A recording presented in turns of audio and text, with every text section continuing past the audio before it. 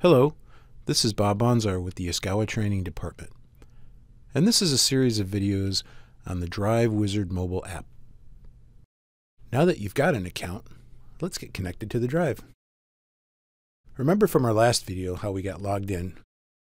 We'll need to make sure that we're logged in before we continue here.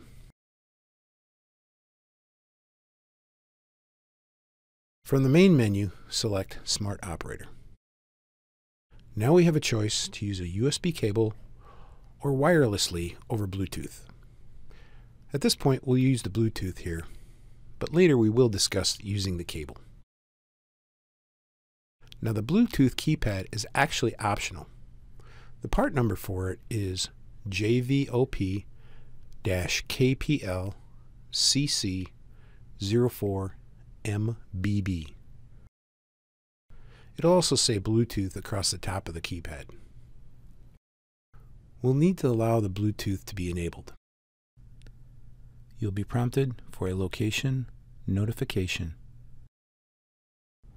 It's okay to allow it. Now it's searching for the Bluetooth keypad. To do so, I must set the parameter in the drive to grant access so we have it on the screen. So on the keypad, go to parameter number A1-12 and set it to something other than four zeros. All zeros means it's disabled. You will need to remember this number later, so please make a note of it. Keep in mind, if you are in an environment with multiple drives, you will need a unique number for each drive. Do not make them all the same.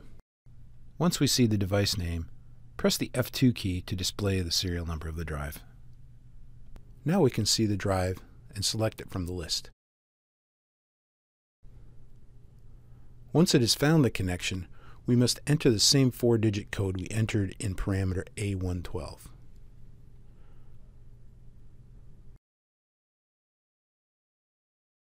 Now we can see that the keypad tells us it's connected. All access from this point will be done by the tablet. If you press any key on the keypad, it will disconnect from the Bluetooth. So if an alarm appears, or if you need to change a parameter, or see a monitor, this needs to be done from the software on the tablet. Another method of connecting to the drive, as we spoke about before, is using the USB connection. It uses a micro to mini USB on the go or OTG compatible cable. You can order that from us, or you may use the one that might have come with your cell phone. This is the cable that we're going to use in this video. There is another cable that uses the Type C for some other phones. One end to the drive,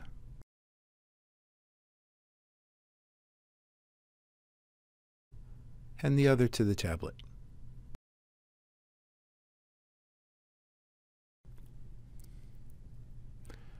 The convenient thing about using a USB is that the drive doesn't have to be powered up externally. You can access the parameters with the drive being off.